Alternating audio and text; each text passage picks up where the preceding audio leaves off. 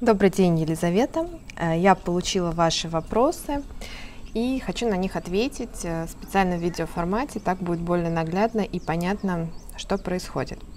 Значит, по поводу четвертого урока. Это урок по основным действиям. Там я вам рассказываю про так называемый таймлайн. Это когда вы можете действие вперед, действие назад, а, работать, как э, перемещать объекты, как их трансформировать, еще что-то. А, значит, а, там у вас получается нарисованы простые геометрические фигуры. И эти фигуры, они, вы видите, как будто бы они по слоям. На самом деле они не по слоям. Вот смотрите, у меня сейчас создан в панели один слой. Я начинаю рисовать квадратик, заливаю его красным цветом рисую звездочку, заливаю ее желтым цветом и рисую, скажем, кружочек. Сейчас мы его зелененьким сделаем. Вот кружочек рисую его зеленым цветом. Слой у меня остался один, но внутри слоя вы можете видеть все объекты, которые находятся. Притом, поскольку я создавала фигуры не от руки, а использовала готовые шаблоны, они у меня сразу подписываются, что это фигура прямоугольник, это контур это эллипс.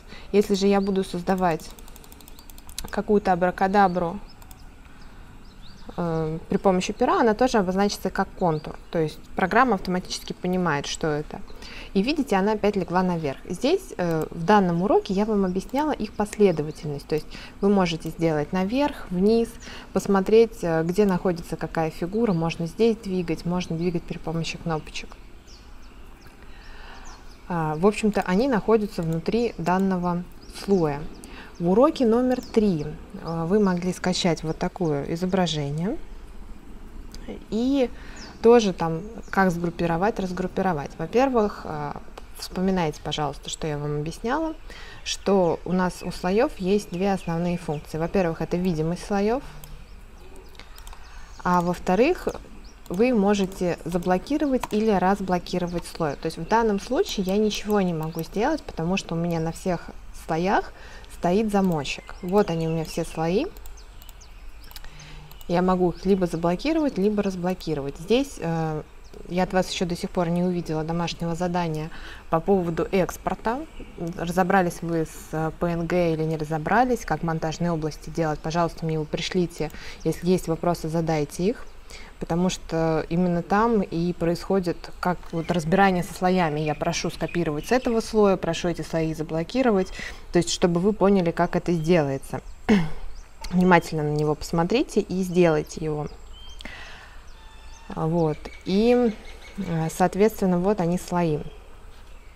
Как сгруппировать? Выделяете все. Видите, у меня сейчас все разблокировано. Выделяю все, правую кнопочку мыши, сгруппировать. При группировке все объекты, которые находились на разных слоях, сгруппируются в один. Видите, здесь у меня стало все пустое, вот чистые белые окошки. Сюда они сгруппировались. Вот таким образом оно получается.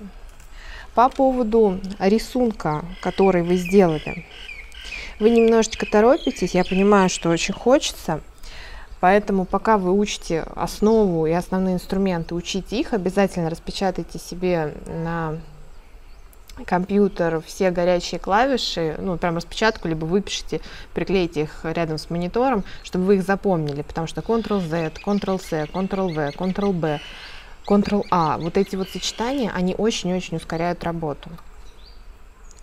И э, если вот прям уже очень хочется начинать рисовать эскизы, у вас это будет чуть-чуть позже, но если вы э, зайдете на мой YouTube канал, сейчас я вам покажу. Так, мой канал. А, вот, у нас э, здесь с вами есть марафон по техническому рисунку «Женская база». И вот здесь первое видео, обучающее, рисуем женскую футболку в векторе.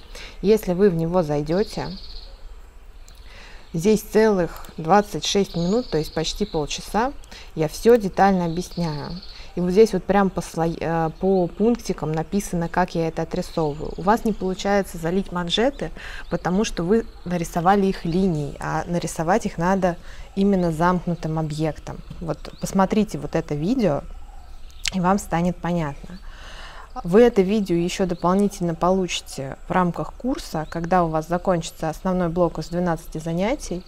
вам придут все шесть уроков с описаниями по марафону по техническому рисунку.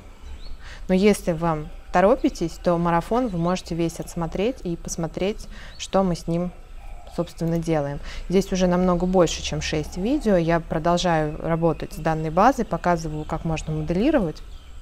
Видео в доступе, в открытом. Пожалуйста, заходите, смотрите. Если у вас появились вопросы дополнительные, обязательно пишите, со скриншотами мне все присылайте. И обязательно сделайте домашнее задание к третьему уроку. Там важно разобраться, понимаете ли вы разницу с монтажными областями, как э, сохранять файл. Это основа, без которой вам будет тяжело дальше. И со слоями еще раз разбирайтесь, смотрите. А, не показала маленькую штучку вам. Значит, смотрите, вот он слой. Если вы хотите его дополнительный слой создать, вот здесь вот галочка «Создать новый слой». Сейчас. Вот она. Создать новый слой. У вас появляется новый слой.